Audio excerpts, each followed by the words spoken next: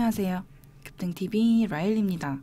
어, 제가 오늘은 마이크를 좀 바꿨는데 이제 아마 볼륨 문제는 좀 해결이 되지 않을까 싶습니다. 어, 그리고 2월 16일 화요일 장전 뉴스 브리핑 시작해 보도록 하겠습니다. 어, 어제 주도했던 테마가 아마 오늘도 좀 강하지 않을까 싶은데 어제 오후 들어서 좀 나온 뉴스들이 몇 개 있어서 그것도 추후에 어, 오늘 관심 종목 다 말한 다음에 어, 뉴스랑 함께 어, 다른 것들도 조금 알려드릴게요. 어, 첫 번째는 당연히 쿠팡이죠. 동방이 이 현상을 갖고 어, 그거 관련해서 어제 상한가가 정말 많이 나왔습니다. 지금 여기 나와 있는 게 다 상한가를 갔죠. 동방, 어, KCTC, 뭐 KTH, 그 다음, 어, 이게 일봉으로 돼 있구나. 죄송합니다. 다시 보여드릴게요. 동방, KTCT, KTH, 그 다음 한국전자 홀딩스, 대형 포장, 이렇게 상한가를 갔습니다. 어, 상한가를 간 순서대로가 이제 위에 적힌 대로예요. 동방 같은 경우는 점상이 돼서 사실 산 사람이 없죠. 가지고 있는 사람만 어, 정말로 보유자만 어, 이 수익을 즐길 수 있는 어, 그런 상태가 아닌가 싶습니다. 그 다음에 한국전자 홀딩스 자체는 시총이 500억밖에 안 돼요. 아마 유통 물량까지 감안한다고 하면 한 400억, 500억 내외가 아닐까 싶은데요. 그렇기 때문에 이렇게 좀 강한 상승 그리고 좀 뒤늦게 발견이 돼서 이렇게 그 전까지는 크게 상승이 없다가 앞에 있는 매물대를 뚫고 올라간 게 한국전자 홀딩스입니다. 이 점을 참고해서 보시면 좋을 것 같고 다음은 대형 포장입니다. 이렇게 대형 포장 역시 갭이 엄청나게 떴는데 그 자리에서도 계속해서 상한가를 가는 걸로 마무리를 했고요. 어, 제가 어제 이제 종목에는 없었지만 대형 포장을 말씀드린 걸 기억하셨다면 어, 포장 지주까지 한번 도전을 하셨지 않을까 싶습니다. 다음은 어, 차량용 반도체가 계속해서 지금 어, 반도체 부족이 심화되고 있다는 뉴스가 나오고 있죠. 근데 거기에다가 심지어 3위인 일본의 르네사스가 지진 때문에 공장이 멈췄다고 합니다. 그렇게 되면 여기가 한 번 더 어, 그렇게 엮여서 차량용 반도체 안 그래도 부족한데 전 세계 3위인 회사가 지금 어, 뭐 만들지를 못하고 있다라고 하면 다시 한번 이렇게 SFA 반도체가 그 중에서 대장처럼 강하게 움직이는 모습 그리고 시그네틱스 시그네틱스 역시 앞에 매물대 뚫고 어, 돌파하면서 올라갔습니다.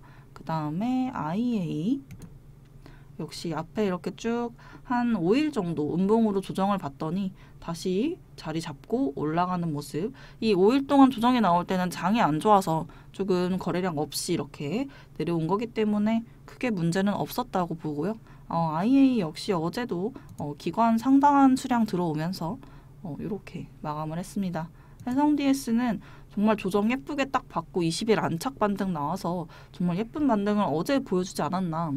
하지만 어제는 다들 동방 보느라 못 보셨을 것 같아서 요거는 조금 아쉽습니다. 이렇게 5일 똑같이 5일 조정 받은 다음에 바로 반등 나왔습니다.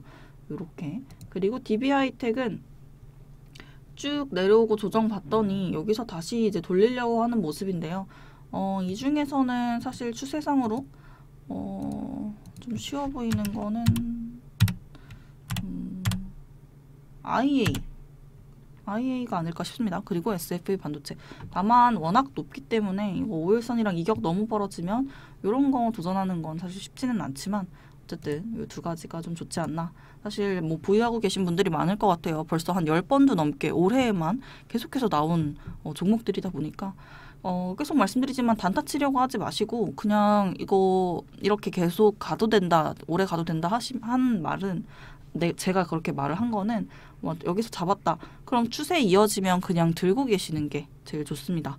어, 그렇게 다음 어, LG폰 인수 큰 손으로 러시아 국부펀드가 뭐 산다고 하는 얘기가 계속 돌고 있죠.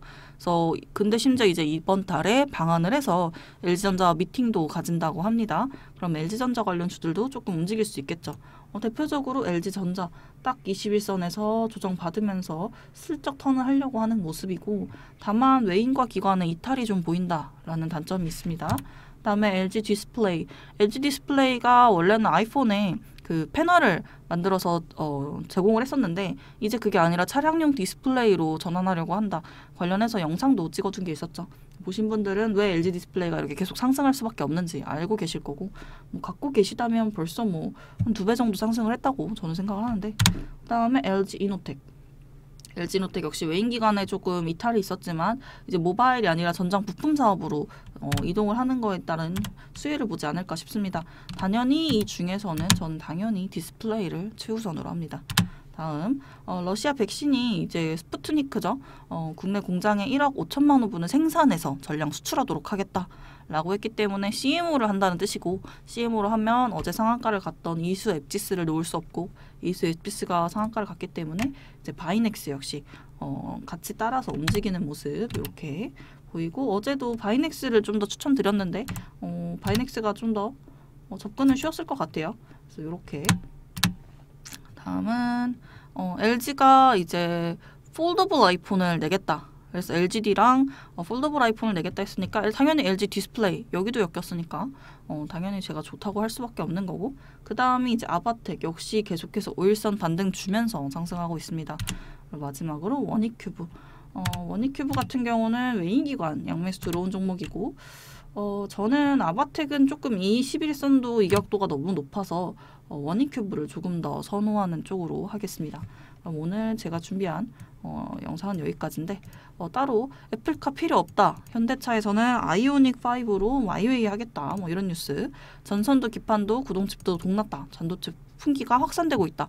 그러니까 바, 차량용 반도체뿐만이 아니라 지금 여기 packaging 부품, SSD 컨트롤러 뭐 등등등 여기 보시면 bonding wire 조달에 어려움을 겪고 있다.